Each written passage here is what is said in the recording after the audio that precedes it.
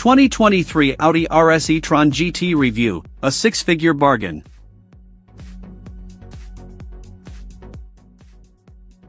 But before we start, please support us by pressing the like and subscribe buttons, so that we can continue to provide information about car and motorcycle news.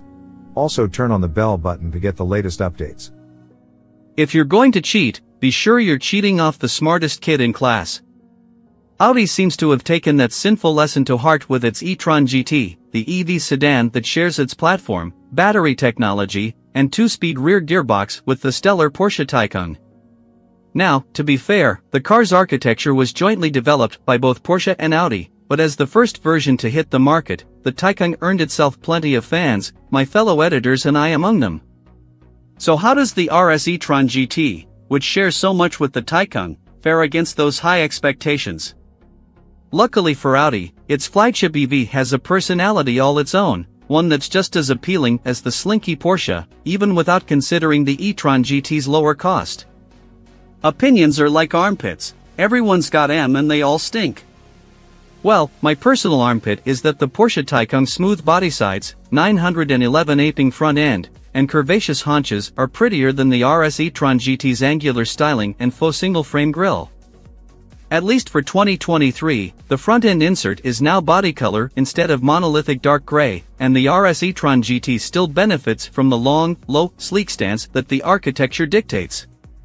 My other armpit tells me that the Audi e-tron GT's interior is actually nicer to look at than the Taycan's. The beveled, techno-chic appearance is far more futuristic, and every surface is coated in rich materials, the seats get honeycomb quilted Nappa leather, the dashboard is covered in genuine hide, there are sweeping spears of matte carbon fiber trim, and the Dinamica suede headliner looks posh and cosseting. Although it doesn't offer the Porsche's funky rose gold accents, Audi does a good job of making the RS e-tron GT feel contemporary and stylish, especially with the Eris red colorway livening up the severe Kemora gray paintwork. Riding low on massive 21-inch wheels, I was expecting the RS e-tron GT to exact a right comfort toll in exchange for its brilliant stance. But thanks to a standard three-chamber air suspension and superbly tuned dampers, the Audi handles rough pavement with poise. It's impossible to defy physics completely, but impacts mostly get smothered by the air springs, with only a muted thwump making its way to your backside. Dual-pane front windows and an RS standard carbon roof, replacing fixed glass on lesser e-tron GTs, also ensure a quiet ride. The lightweight roof structure, however, reduces headroom a bit compared to the panoramic glass, and it makes the cabin feel cozier, some might say more claustrophobic. There's plenty of space up front, to be sure, but your rear seat passengers had best be small to medium if they want to fit within the 36.5 inches of headroom and 32.2 inches of legroom back there. There also isn't a ton of space for stuff, either inside the cabin or in the 9.2 cubic foot rear trunk. At least there's a nominal 1.8 cubes under the hood, perfect for hauling around emergency supplies, a first aid kit, and other seldom used, but still important, gear.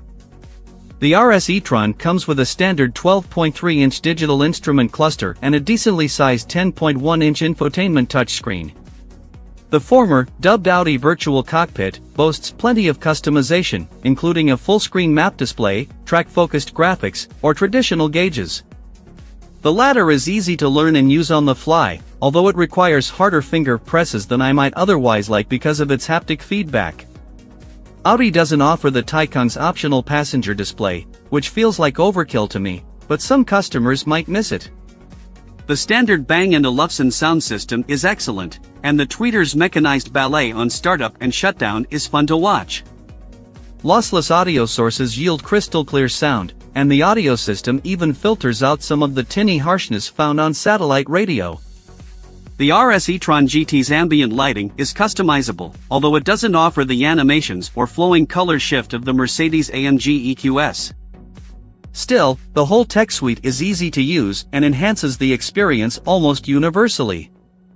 With up to 637 horsepower in boost mode, 590 ponies the rest of the time, the Audi RS e-tron GT splits the output difference between the 590 horsepower Porsche Taycan GTS and the 670 horsepower Taycan Turbo. The Audi also gets the same two-speed transmission incorporated into the rear axle motor as the Taycan lineup, the front axle motor is single speed only, giving it far better acceleration once you're already on the go. While many EVs run out of steam once at freeway speed, the RS e-tron GT still has more to give. The net result of that wizardry is a 0 to 60 time of 3.1 seconds, 4 tenths quicker than the Taycan GTS and just 1 tenth down on the turbo. The Audi RS e-tron GT is less involving than its Porsche kin, with slightly aloof steering that seems to prefer high-speed grand touring more than max attack canyoneering. Still, with the suspension set to its firmest, but still not harsh, dynamic setting and abundant grip from the Goodyear Eagle F1 summer tires, the RS e-tron GT is exciting to hustle up a fun road, with neutral manners and quick responses that inspire tons of confidence. Unfortunately, both Porsche and Audi suffer for not offering one-pedal driving, with throttle-off regeneration that feels like engine braking.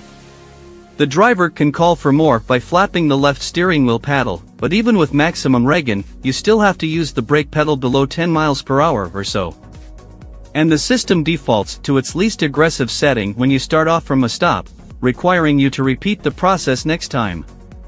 The optional carbon ceramic brakes, featuring massive 16.4-inch front and 16.1-inch rear discs, is up to the task of slowing the 5,139-pound sedan, but it'd be nice if the electric motors did more of the work.